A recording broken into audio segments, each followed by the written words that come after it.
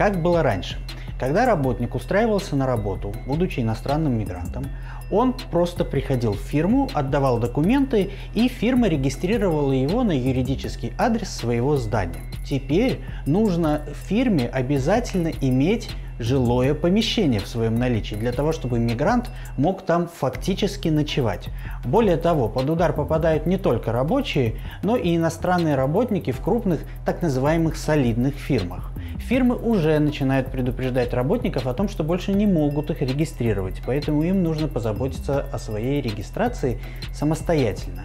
Как вы понимаете, далеко не все могут оформить ее быстро, поэтому некоторые сотрудники уже подумывают об увольнении с работы. Что нужно сделать работнику, чтобы все-таки получить регистрацию и при этом не быть уволенным с работы? Больше на свою компанию надеяться, судя по всему, не получится, поэтому нужно регистрироваться у физического лица, то есть в той квартире, которую вы снимаете.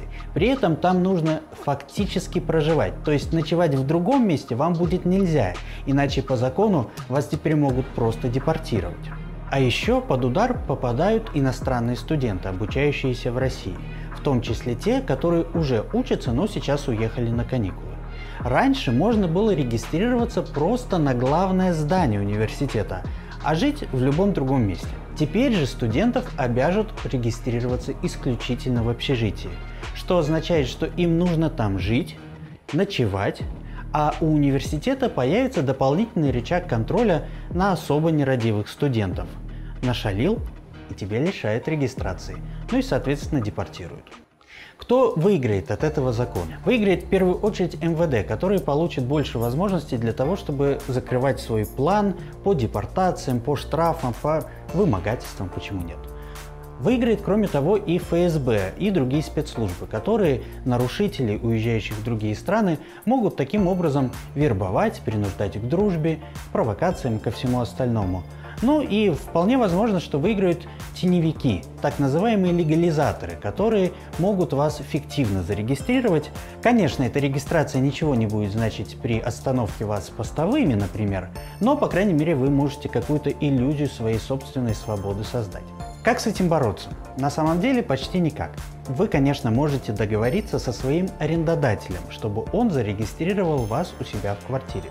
Но ничего не мешает ему в любой момент поднять арендную плату, мотивируя это тем, что он-то вас зарегистрировал, а за это нужно обязательно платить. Кроме того, вы, конечно, можете уйти в теневой сектор и попытаться бегать от постовых, от полицейских, от проверяющих органов, но это не очень надежно, потому что рано или поздно проверяющие доберутся как минимум до той компании, где вы работаете.